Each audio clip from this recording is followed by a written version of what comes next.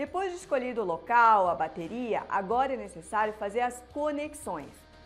Com o aparelho desligado e desconectado da rede elétrica, primeiro interliga as baterias em série com o cabo de interconexão de bateria.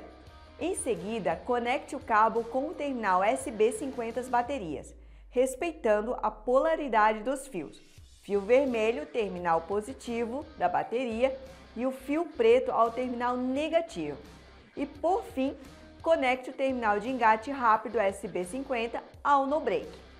Antes de ligar o no-break, verifique se a chave de tensão seletora está de acordo com a tensão da rede elétrica e do automatizador de portões, 110 ou 220.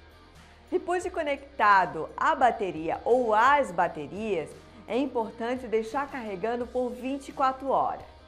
Certifique-se que a potência do automatizador não ultrapasse a potência máxima do no-break.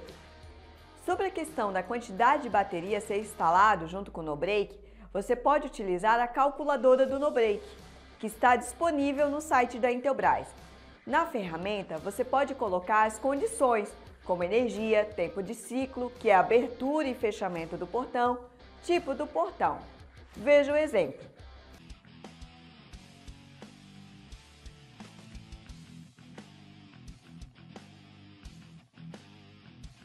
Para que o no-break funcione corretamente com o automatizador, é importante realizar alguns ajustes. Primeiro, verifique se seu automatizador é dotado de ajustes como força, velocidade, freio, rampa ou desaceleração. Essas informações devem estar disponíveis no manual do usuário do automatizador. Caso não encontre, entre em contato com o fabricante do equipamento. Depois de ter acesso às informações, é necessário configurar os parâmetros de torque, força, velocidade, freio e desaceleração do automatizador, com o no-break instalado e operando em modo de bateria, ou seja, desconectado da rede elétrica. Através das configurações do equipamento, reduza esses parâmetros do automatizador a zero aumentando gradativamente até o perfeito funcionamento do portão em modo de bateria. Em seguida, conecte o no-break novamente à rede elétrica e verifique o desempenho do sistema em modo rede. Se for necessário, faça os ajustes e volte a testar o funcionamento em modo bateria. Esse ajuste fino deve ser feito até que você encontre o nível ótimo de funcionamento do portão ou do automatizador considerando os dois modos de operação, em rede e bateria.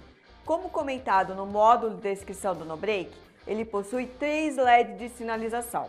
Veja abaixo a tabela com o status que o NoBreak poderá assumir. É importante reforçar que a linha GNB é dedicada para soluções de portões e automatizadores, conforme as especificações já vistas. Não conecte o plug do cabo de força no no-break na própria tomada de saída. Não ligue estabilizadores de tensão na entrada no no-break ou na saída. Certifique-se que haja um bom aterramento para assegurar o funcionamento eficaz do no-break e a proteção dos seus equipamentos. Para um perfeito aterramento ou dimensionamento da rede elétrica, siga as normas da BNT sobre instalações elétricas de baixa tensão a NBR 5010. E sobre a polarização fase neutra terra da rede elétrica, deve seguir o padrão NBR 14136. Lembrando, a remoção do pino terra acarreta perda de garantia. Obrigada pela participação e até a próxima!